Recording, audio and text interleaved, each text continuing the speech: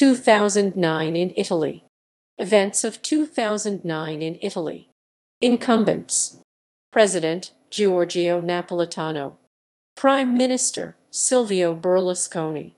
Silvio Berlusconi controversies. Berlusconi is involved in several controversies in relation to his career and personal life. Trial of Amanda Knox and Raffaele Sollecito. Knox and Sollecito were tried for and convicted of the murder of Meredith Kercher. L'Aquila earthquake. A major earthquake occurred in Abruzzo on 6 April, killing about 300 people. Deaths. 11 January Pio Laghi, Roman Catholic cardinal born 1922.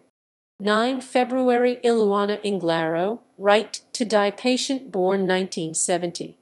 13 May Achille Compagnoni, mountaineer born 1914. 6 August Riccardo Cassin, mountaineer born 1909.